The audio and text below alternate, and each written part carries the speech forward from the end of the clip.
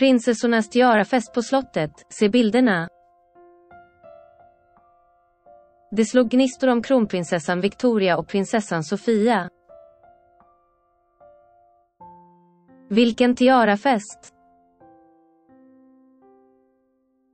Veckans galakalas bjöd verkligen på kungligt bling-bling, vi kunde räkna till hela fem tiaror i vimlet på Stockholms slott. Och det fanns en tydlig linje.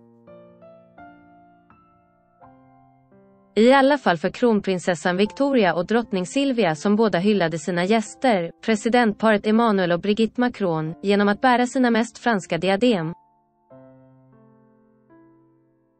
Drottningen gled in i sitt bröllopsdiadem med kamer och Victoria gnistrade loss med den ömtåliga ståltiaran som i början av 1970-talet hittades bortglömd i ett skåp på Stockholms slott. Två diadem som en gång bars i kejsar Napoleons familj. Prinsessan Sofias tiara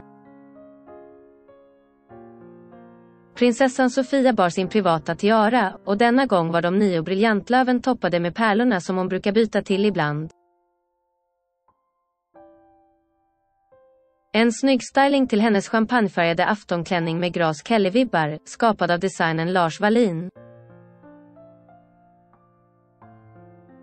Prinsessan Kristina i akvamarindiademet. Yngsta Hagasessan, kungens syster prinsessan Kristina, var också på plats, iför det magnifika akvamarindiademet som tros vara i prinsessan Margaretas ägo, men som numera är deponerat på slottet.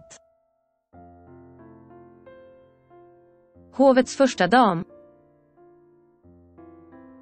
och så fick vi se hovets första dam, överhovmästarinnan Kirstin von Blixenfinecke, med aftonfrisyren krönt av en bladranka av briljanter. Ett diadem som hon ofta bär vid galamiddagarna på slottet.